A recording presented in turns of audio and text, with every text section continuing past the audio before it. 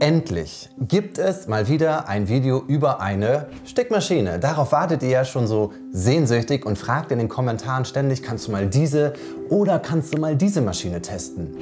Ja, das mache ich ja jetzt. Und mit diesen einleitenden Worten sage ich Hallo und herzlich willkommen zu einer hoffentlich fortwährenden Fortsetzung an neuen Videos hier auf unserem Make YouTube-Kanal.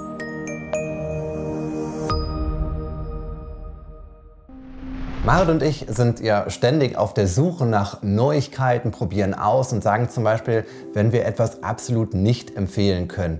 Ihr erinnert euch zum Beispiel an den Livestream mit den Folien. In diesem Video allerdings zeige ich euch eine Stickmaschine für Anfänger, die aufgrund einiger Features viele andere kombinierte Näh- und Stickmaschinen in diesem günstigen Preissegment, so um die 1000 Euro, in den Schatten stellen wird. Fast 50.000 Views und über 600 Daumen nach oben hat mein Video über die Brother M280D von euch Makeys bekommen. Movi schreibt zum Beispiel, danke für das Video, ich habe die Maschine, sie ist super, bin Anfängerin, aber sehr einfach zu bedienen. Marielle Gajewski, ich hoffe, ich spreche es richtig aus, kommentierte ebenfalls, danke für das tolle Video, du hast mir sehr geholfen, diese wird mein Schmuckstück für mein Nähzimmer.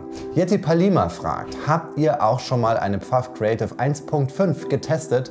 Nein, aber heute testen wir etwas, wie ich finde, noch Besseres. Und aller guten Dinge sind vier ähm, Gizmo kommentiert mit Can I use a large embroidery hoop on this machine? Thanks. Nope, leider nicht. 10x10 ist bei der M280D das Maximum, deshalb zeige ich hier heute eine Alternative. Eine Sache möchte ich jedoch noch vorweg sagen. Wenn du dich für die M280D entschieden hast, herzlichen Glückwunsch. Du hast eine tolle kombinierte Näh- und Stickmaschine. Wirklich. Marit und ich haben uns in den letzten Wochen etwas auf dem Markt umgesehen. Und dabei ist uns eine kombinierte Stick- und Nähmaschine ganz besonders ins Auge gefallen. Hier ein paar Bilder.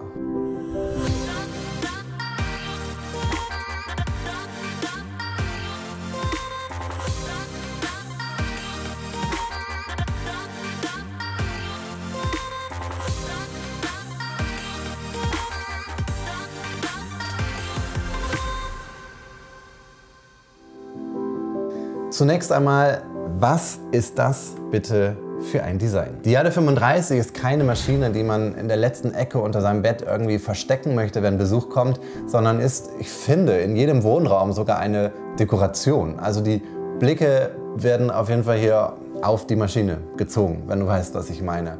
Das ist eigentlich kein Wunder, denn in Zeiten von Hüge, minimalistisch-skandinavischem Design hat das Unternehmen aus Schweden nur das gemacht, was sie schon seit, ich glaube, 1872, also seit über 150 Jahren machen, Nähmaschinen bauen. Ähm, doch gut aussehen können viele von uns. Das Wichtigste ist jedoch, was drin steckt, oder? Und deshalb nehme ich die Jade 35 in diesem Video etwas unter die Lupe. Und so viel kann ich schon verraten, wenn du auf der Suche nach einer guten Nähmaschine bist und wenn diese dann auch noch mit einem mehr als dreimal so großen Stickrahmen wie bei anderen Einsteigermaschinen geliefert wird, sticken kann, dann steht hier möglicherweise deine nächste Stick- und Nähmaschine. Also Näh- und Stickmaschine. Ja, im Lieferumfang ist natürlich das Kernstück, die Augenweide, die Jade 35 enthalten. Und ich sage es noch einmal, ich habe es schon ein paar Mal erwähnt, das Maschinensticken ist längst nicht mehr ein rein frauenbesetztes Hobby. In unserem Make My Stickcafé auf Facebook und auch in unserem Livestream sind mittlerweile so viele Männer, dass ich verdammt glücklich darüber bin, dass Husqvarna Viking hier das Design überwiegend genderfrei, also ohne lila und ohne rosafarbene Blumendekors gestaltet hat. Nicht, dass ich etwas gegen rosa äh, Blumendekor habe, aber ähm, ja, die möchte ich auch gern selber gestalten und das am liebsten dann beim Sticken. So, dann machen wir das Kästchen Maschinchen einmal auf. Schaut mal, man kann hier so einen Kasten rausnehmen und darin befindet sich ein Gaspedal. Kleines Gaspedal, ein Tütchen mit einem Haufen Zubehör. Hier ist nicht alles drin, ein bisschen was habe ich schon rausgelegt und ähm, ein USB-Stick. Genau. Vorne hat die Maschine noch ein Zubehörfach, das kann man so rausschieben. Hinten hat sie auch noch ein Zubehörfach, das kann man auch so rausschieben. Und man kann dieses Ding auch komplett abnehmen. Dann hat man eine Freiarmmaschine, das heißt, du kannst das Bündchen deines nächsten Kleidungsstückes, was du nähen wirst, hier mit ähm, annähen. Und das ist auch die Vorbereitung für den Sticktisch. Das ist dieses Modell hier. Dieses Teil, das kommt auch mit der Jade 35 schon dabei. Und das steckt man einfach hier seitlich. Ah, ich muss mal den Stickrahmen wegnehmen.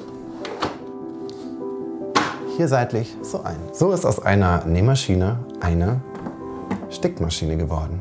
Und nun wird es spannend. Denn ähm, wie viele kombinierte Näh- und Stickmaschinen für Anfänger in diesem Preissegment kommt normalerweise ein 10x10 Rahmen mit. Der ist relativ klein im Vergleich zu anderen Stickmaschinen. Und der mitgelieferte Stickrahmen ist nicht 10, nicht 15, nicht 20, sondern 24 cm hoch und ähm, 15 cm breit und ist damit mehr, also ungefähr 3,6 mal so groß wie ein Stickrahmen einer herkömmlichen Näh- und Stickmaschine für Anfänger. Cool, oder? Wenn du auch gerade im Hintergrund diese Musik hörst,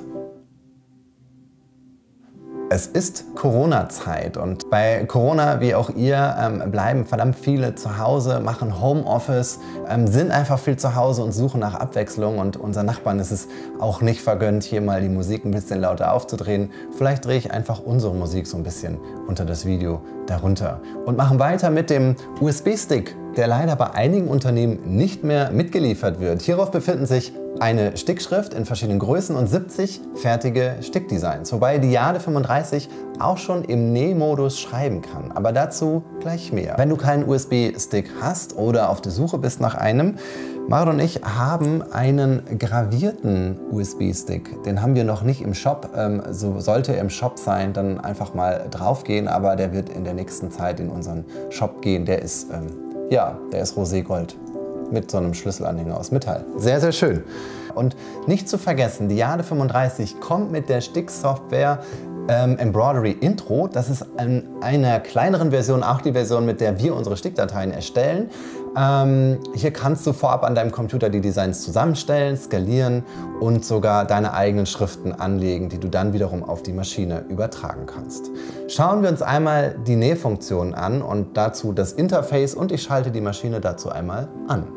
Erstmal einen Stromstecker stecke ich hier mal so seitlich ein und dann sollte sie auch schon angehen. Ich ziehe allerdings mal gerade den Sticktisch ein bisschen raus, denn sonst ähm, denkt sie, sie ist im Stickmodus und wir wollen ja noch mal gerade in den Nähmodus. Ähm, also das hier ist so ein bisschen die Schaltzentrale der Jade 35. Die Knöpfe sind alle super übersichtlich angeordnet. Ganz links, direkt im Arbeitsbereich, sind die wichtigsten Tasten zum Starten, Stoppen, Abschneiden, Rückwärtsnähen und Vernähen angeordnet.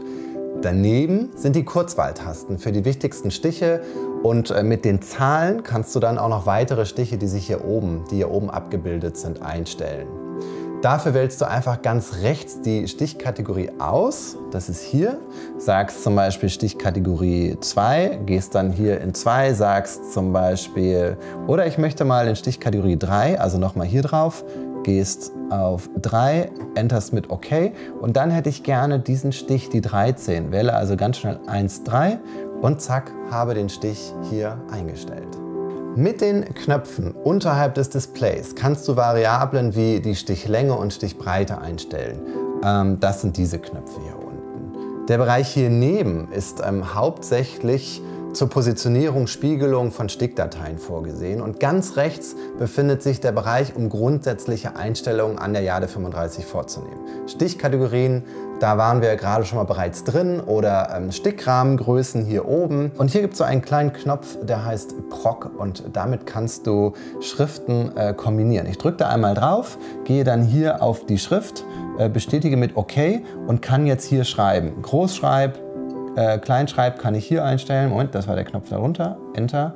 Ähm, Großschreib, Kleinschreib, Zahlen, Buchstaben und so weiter ähm, kann ich hier einstellen. Und ähm, dann äh, etwas schreiben und ähm, das dann mit diesem Herz abspeichern.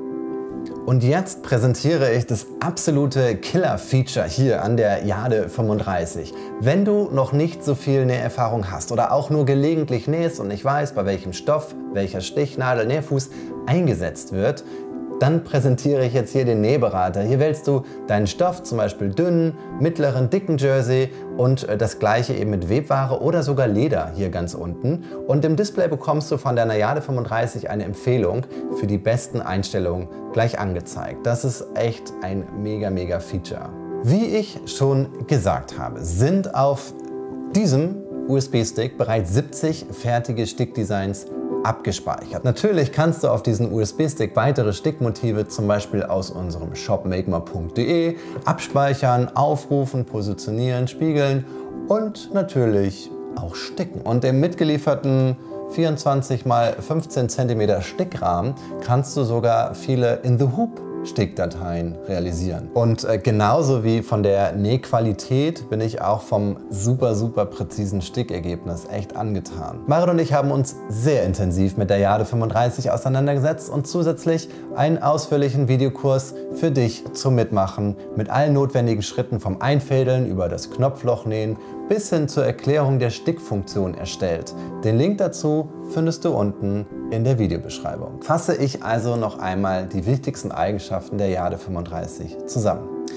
Die Jade 35 ist eine kombinierte Näh- und Stickmaschine. Das heißt, du kannst damit nähen als auch sticken. Mit der beinhalteten Sticksoftware, beinhalteten ist das ein mega schweres Wort, mit der beinhalteten Sticksoftware Intro für deinen Computer kannst du vorab Motive miteinander kombinieren und sogar Schriften umwandeln, dann rausspeichern, USB-Stick rein in die Maschine, los geht's. Und auch ähm, wenn die Jade 35 kein Farbdisplay hat, so kannst du mit dem, sag mal 3,6 äh, mal größeren Stickrahmen als herkömmliche, normale, kombinierte Näh- und Stickmaschinen für Einsteiger schon echt viele ähm, Sachen machen, wie in The Hoop, wie Lace.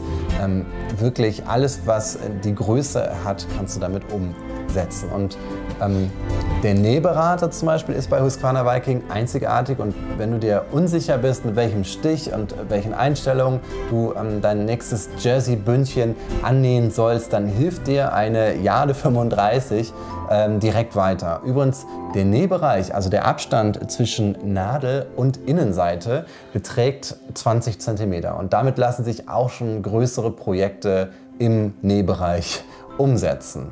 Ich hoffe, ich konnte dich mit diesem Video etwas inspirieren. Wenn bei dir die Anschaffung einer neuen Nähmaschine ansteht, kannst du mit der Jade 35 sogar größere Projekte sticken. Natürlich freue ich mich über einen netten Kommentar und wenn dir das Video gefallen hat, dann auch über einen Daumen nach oben. Also nicht als Kommentar, sondern einfach nur auf den Daumen nach oben drücken. Und äh, wenn du zukünftig weitere Videos von uns, also von Marit und mir, sehen möchtest, dann abonniere doch einfach unseren Kanal. Klick einfach auf das Abo-Banner da unten und äh, ja, bis zum nächsten Video oder Livestream jeden zweiten Mittwoch um 20.15 Uhr hier. Bleib kreativ. Ciao.